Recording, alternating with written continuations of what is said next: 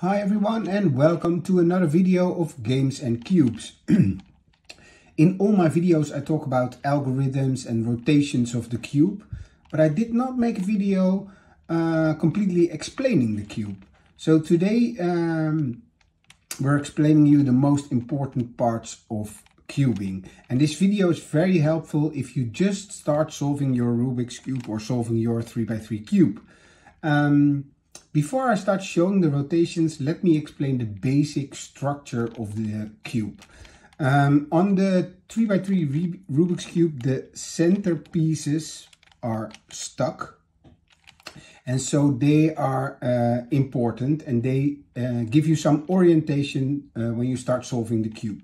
So white is always opposite to yellow. Red is always opposite to orange and blue is opposite to green.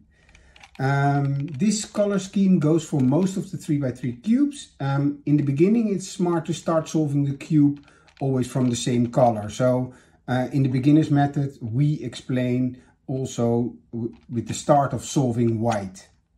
Um, so let me explain the most common uh, rotations of the cube.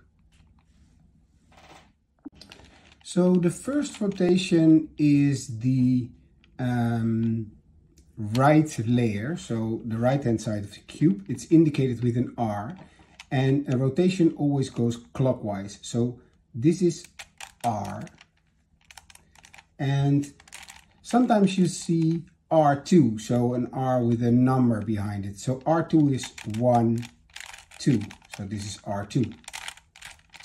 And uh, counterclockwise rotations are always indicated with an I. The I is for inverted. So R inverted. R. R inverted.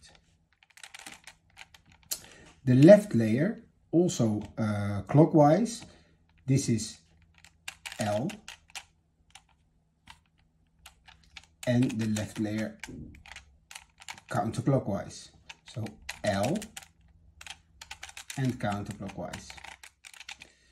Then the front layer of the cube, so the front layer, is an F. So front F and front inverted Fi. F and front inverted. So the back side of the cube, so this was the front side, then this is the back side of the cube, is indicated with a B from back. And also here, B and B inverted, sorry. So B, B inverted. Then the next layer is the top layer of the cube. Uh, it's indicated with a U upper layer. So this is a U, U, and a U inverted. And also here, when there's a um, number behind the U, so let's say in this, well, it, it's never 3 because then it's an inverted one, so a 2. So U2 is 1, 2. And there is no U inverted, so it can be both ways, right? So 1, 2 is also U2. Then the last layer is the uh, bottom of the cube, and it's indicated with a D from down. And uh, here is also a D. A D layer and D inverted. So a D and a D inverted. Um, these are the most important rotations of the, of the cube and there are two left. And those are the two middle layers. So the middle layer is indicated with an M and that's this one, it's M you only rotate the middle layer and M inverted. So M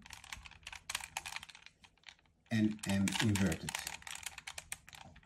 And then you have the E from the equator, which is E,